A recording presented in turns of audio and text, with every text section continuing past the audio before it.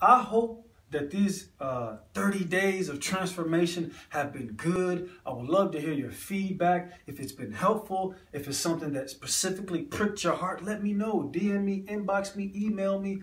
Um, and, and like I said, man, my, my strongest joy, like I said in all my videos, is just seeing people win, seeing people walk in their greatness, seeing people walk in their fullness of who they're supposed to be, man. This has been fun. This has been exciting. And just just stay tuned for more, man. We got books, we got seminars, we got so many things coming, podcasts. All these things are in the works, man. They take time, but I hope these 30 days of transformation have truly been a blessing for you. It's been a blessing for me. And just know that your boy G Wall, I got nothing but love for you, kings and queens, and everybody under the sound of my voice, man. Have a blessing.